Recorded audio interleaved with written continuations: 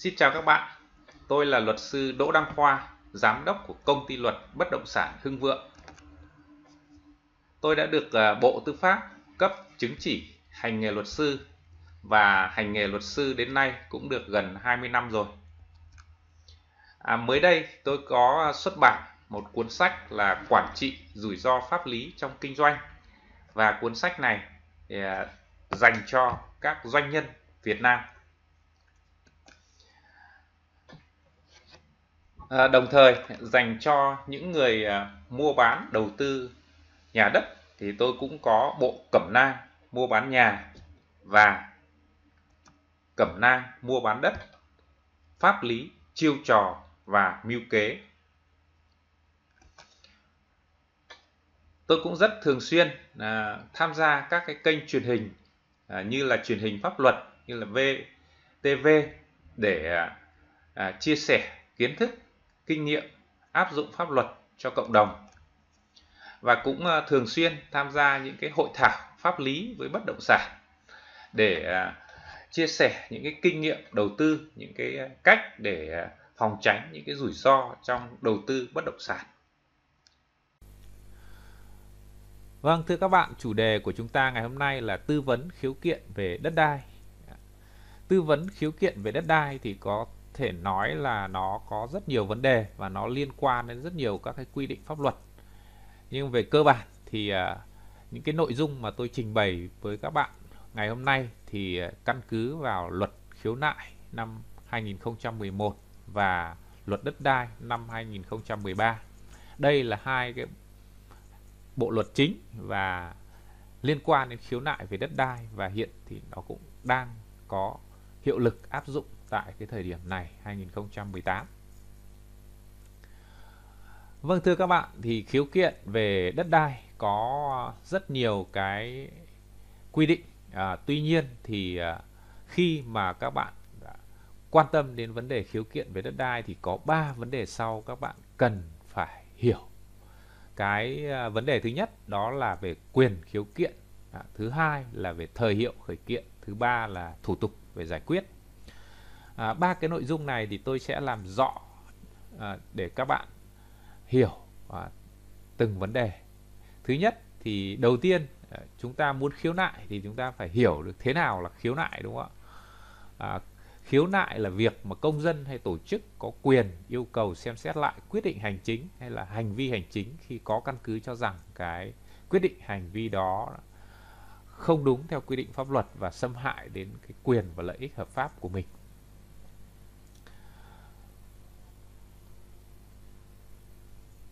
Thì để phân tích sâu về cái cái quyết định hành chính à, về đất đai cũng như cái hành vi hành chính thì à, các bạn tôi sẽ đưa ra các cái ví dụ sau để các bạn hiểu hơn.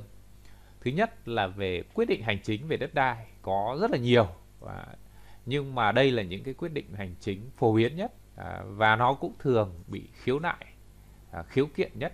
À, đó là quyết định về thu hồi đất quyết định bồi thường giải phóng mặt bằng quyết định cho thuê đất quyết định chuyển mục đích sử dụng đất quyết định về giá đất à, rồi quy định quy hoạch sử dụng đất. À, trên thực tế thì à, à các bạn cũng đã từng biết những cái thông tin để truyền thông đúng không ạ? Có vô cùng nhiều những cái vụ án về liên quan rồi nhiều những cái vụ kiện và liên quan đến bồi thường giải phóng mặt bằng của nó ở cái quy mô rộng thậm chí cả cấp huyện cấp xã cấp tỉnh thành phố đúng không ạ? Đó thế thì à, khi mà nhà nước ra một cái quyết định bồi thường giải phóng mặt bằng hay quyết định về giá đất bồi thường nếu các bạn cho rằng cái quyết định đó nó không phù hợp với quy định của pháp luật xâm hại đến quyền và lợi ích hợp pháp thì các bạn có quyền à, khiếu nại đấy, hoặc là khởi kiện đối với cái quyết định đó. Rồi hiện nay như các bạn biết ở trên thực tế hiện nay có rất nhiều cái hộ gia đình cá nhân đang sử dụng đất. Đất thì theo sổ đỏ được ghi nhận là đất đất ở đúng không ạ? Nhưng mà quy hoạch thì lại là đất công viên hoặc quy hoạch thì mở đường quy hoạch sẽ bị làm à, khu để thu à, kinh tế có rất nhiều. Và cái vấn đề quy hoạch ở đây thì lại có rất nhiều những cái quy hoạch gọi là quy hoạch không hợp lý hoặc là quy hoạch treo. À, chúng ta biết được dẫn đến ảnh hưởng đến quyền của những người sử dụng đất hợp pháp. Đặc biệt là các bạn biết là nó liên quan đến vấn đề những cái quyền đặc biệt như là chuyển nhượng đúng không? hoặc là khai thác sử dụng đất mà gọi là vào quy hoạch thì bán à, ví dụ như là quy hoạch của công viên mà đang là đất ở à, quy hoạch công viên thì bán sao được giá đúng không ạ? Thế thì rất nhiều những cái nó liên quan đến quyền lợi mà của các bạn mà trong cái trường hợp mà có một cái quyết định hành chính về đất đai. Cái uh, nội dung thứ hai là cái hành vi liên quan đến cái về đất đai thì cũng rất là rất nhiều nhưng mà phổ biến các bạn thường gặp là ví dụ như là cán bộ không nhận hồ sơ đúng không ạ? Hoặc là nhận hồ sơ nhưng mà không đưa biên nhận. Đó, hoặc là nhận hồ sơ rồi nhưng mà giải quyết không đúng thời hạn. Đó thì đây là những cái hành vi điển hình uh, liên quan đến đất đai và trên thực tế uh, những người nào làm trong lĩnh vực này sẽ thường sẽ gặp phải. Đó thì đấy là những cái quyết định hành chính về đất đai hoặc những cái hành vi hành chính về đất đai điển hình trong trường hợp các bạn à, không đồng ý với những cái quyết định hành vi này cho rằng là nó không phù hợp quy định pháp luật các bạn hoàn toàn có quyền để khởi kiện hoặc là khiếu nại. Thì uh, xét về quyền ở đây á, thì à, cụ thể này các bạn có quyền là tự mình uh, tự mình uh, khiếu nại. Hoặc uh, pháp luật hiện nay là cho phép các bạn có thể ủy quyền cho luật sư uh, thực hiện cái việc khiếu nại nói chung là làm toàn bộ quy trình từ khi là bắt đầu uh, soạn thảo đơn rồi nộp đơn rồi uh, giải quyết gặp gỡ cơ quan nhà nước có thẩm quyền rồi nhận quyết định ờ, thế thì đấy là các bạn có toàn quyền có thể là tự mình nhờ luật sư tư vấn có thể ủy quyền cho luật sư làm toàn bộ thì đấy là cũng là pháp luật quy định. À, nội dung thứ hai các bạn cần quan tâm đó là thời hiệu khiếu nại cái này cũng vô cùng quan trọng. Thì uh, theo quy định của luật khiếu nại 2011 thì thời hiệu khiếu nại là 90 ngày kể từ ngày nhận biết ờ, được cái quyết định à, hành chính hoặc là hành vi hành chính.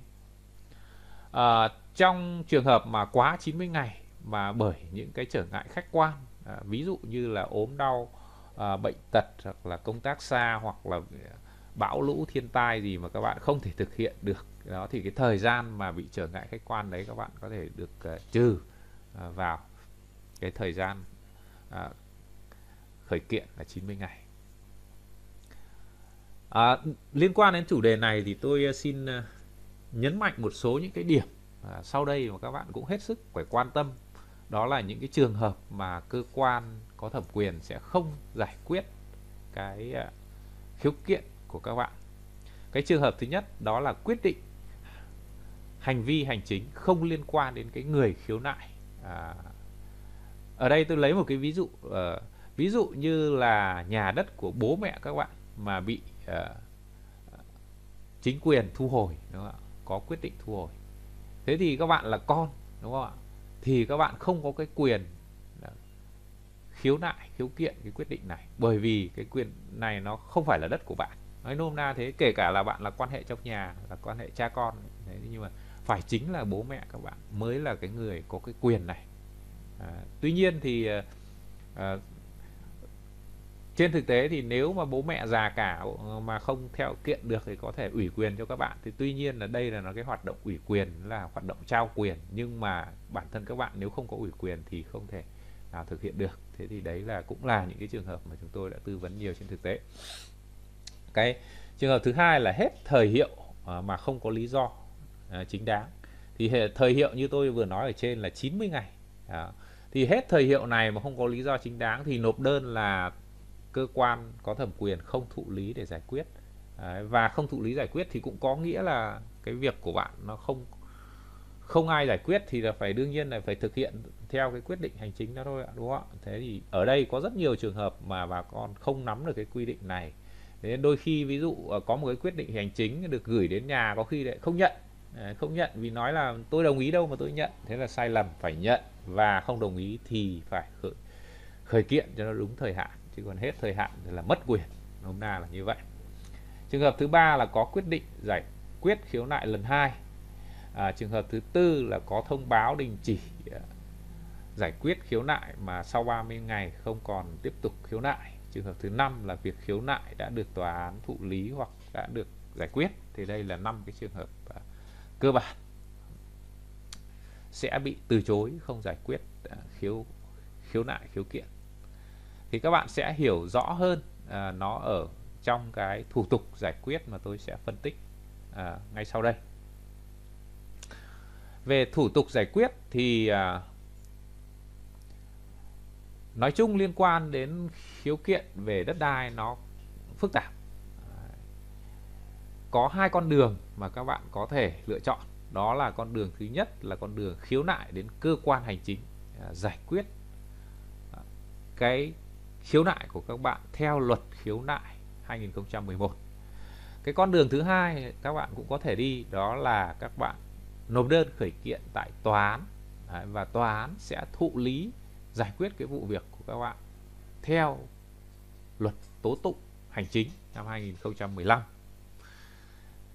thì để à, dễ hiểu hơn thì các bạn nhìn vào sơ đồ sau đây thì tôi sẽ phân tích cho các bạn để dễ hiểu hơn. Đây là quy trình giải quyết khiếu kiện về đất đai. Thì à, bước đầu tiên đó là phải là có cái đơn đúng không ạ? À, muốn khởi kiện thì đầu tiên phải có đơn.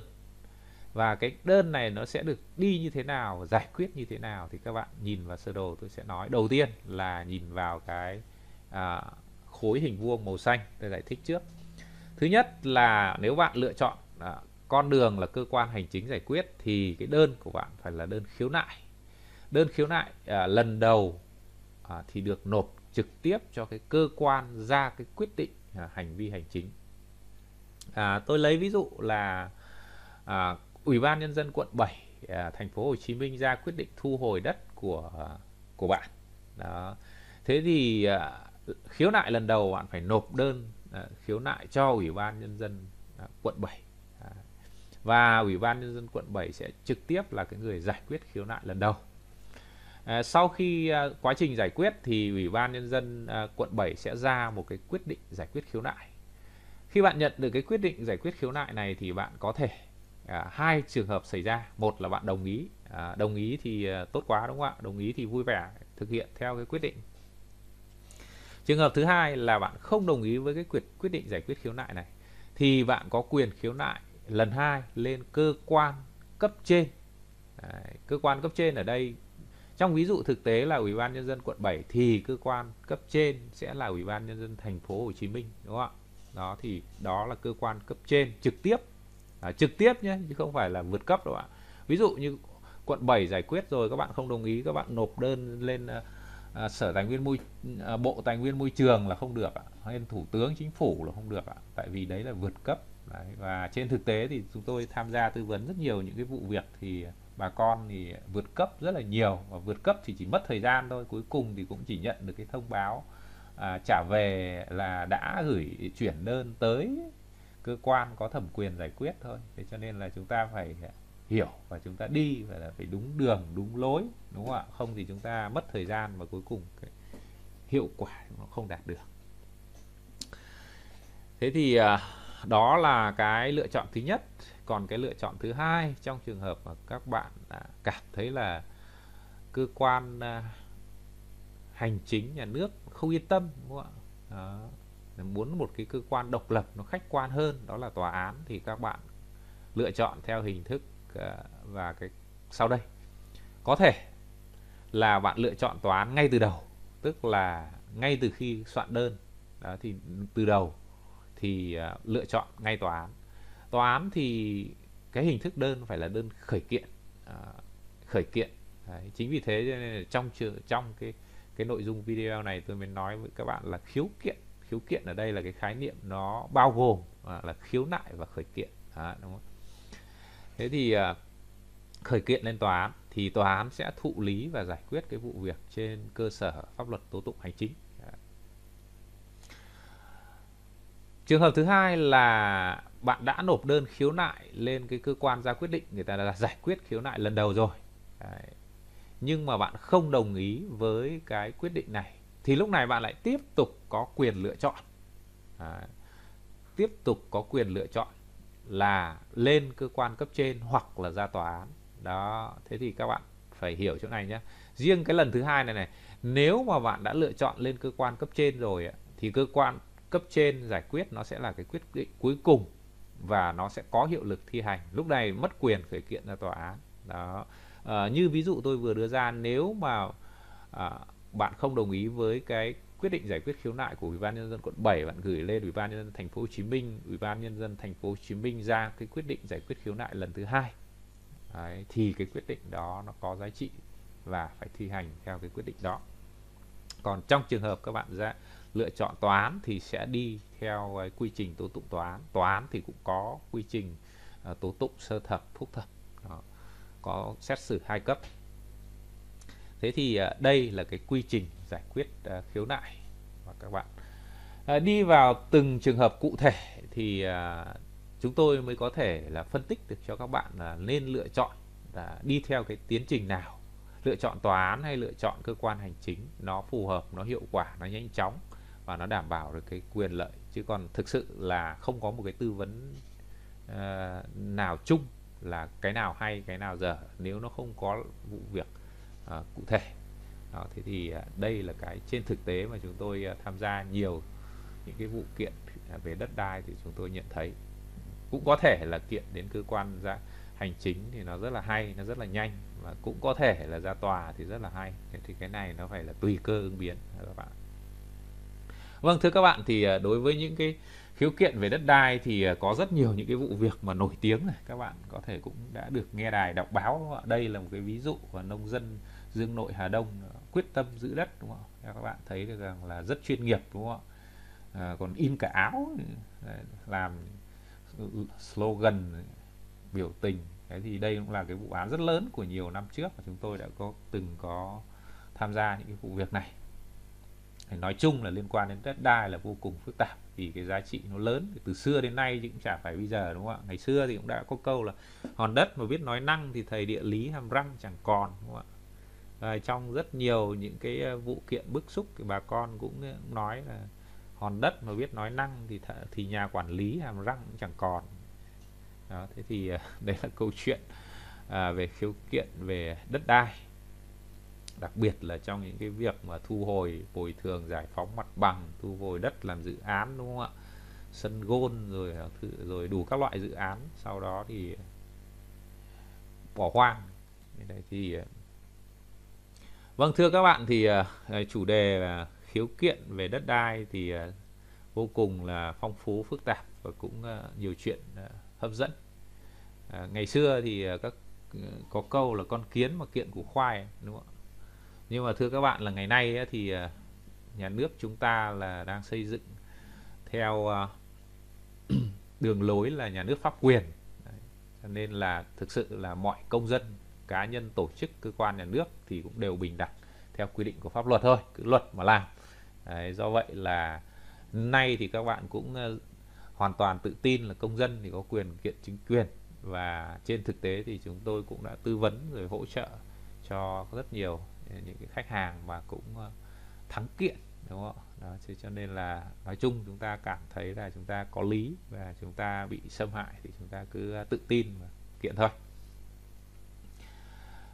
Vâng thưa các bạn là trên đây là toàn bộ những cái nội dung ờ, khái quát về ờ, vấn đề khiếu kiện về đất đai. Tuy nhiên nếu các bạn có vụ việc cụ thể cần chúng tôi tư vấn hỗ trợ à, tham gia ủy quyền à, theo hình thức là có thu phí thì các bạn là cứ liên hệ với chúng tôi theo địa chỉ email và số điện thoại ở đây. À. Tuy nhiên thì có nhiều trường hợp thì tôi cũng bận không nghe được máy thì các bạn vui lòng để lại tin nhắn và tôi sẽ liên hệ lại các bạn. Vâng, thưa các bạn là nếu các bạn muốn là thực sự đầy đủ các cái kiến thức, các cái kinh nghiệm trong giao dịch mua bán nhà đất thì các bạn đã nên sở hữu cái bộ cẩm nang của tôi. À, đó là cẩm nang mua bán nhà, cẩm nang mua bán đất, pháp lý, chiêu trò và mưu kế Vâng thưa các bạn, trong bộ cẩm nang mua bán nhà đất này, cái quan trọng là tôi tiếp cận, à, tôi chia sẻ với các bạn nó đầy đủ, không chỉ à, về pháp lý mà còn giúp các bạn hiểu được các cái chiêu trò và các cái mưu kế trong à, giao dịch bất động sản thực sự ba yếu tố pháp lý chiêu trò và mưu kế này nó giống như một chiếc kiềng ba chân mà chỉ khi có đầy đủ à, ba chân kiềng đấy thì trong cái giao dịch à, mua bán đầu tư bất động sản mới thực sự là vững chắc. Và đó chính là những cái điều mà tôi muốn chia sẻ cho các bạn đầy đủ nhất trong bộ cẩm nang mua bán nhà đất này. À, các bạn muốn sở hữu bộ cẩm nang này thì có thể tìm mua trên uh, Tiki hoặc là Lazada hoặc là tất cả các nhà sách uh, trên toàn quốc Vâng, à, thông điệp mà chúng tôi muốn gửi tới các bạn đó là vững pháp lý, nắm thành công. Trong lĩnh vực bất động sản có rất nhiều những cái vụ việc à, lớn, phức tạp. Chúng tôi luôn sẵn lòng tư vấn hỗ trợ cho các bạn về giải quyết tranh chấp đất đai, chia thừa kế nhà đất, bồi thường, giải phóng mặt bằng, à, mua bán, đầu tư bất động sản đặc biệt là tư vấn hỗ trợ về mua bán sát nhập à, các cái dự án bất động sản và đầu tư à, phát triển dự án bất động sản với quy mô lớn. À, vâng, à, khi cần hỗ trợ thì các bạn vui lòng à, liên hệ à, với tôi qua email và điện thoại dưới đây. À, khi à, tôi bận mà chưa nghe được máy thì các bạn vui lòng để lại tin nhắn. À, vâng, à, nếu các bạn có bất cứ cái câu hỏi hoặc là thắc mắc nào à, cần giải đáp hỗ trợ à, liên quan đến pháp lý bất động sản thì các bạn hãy vui lòng để lại bình luận, đăng ký kênh để nhận thêm nhiều giá trị. Cảm ơn các bạn. Chúc các bạn thành công.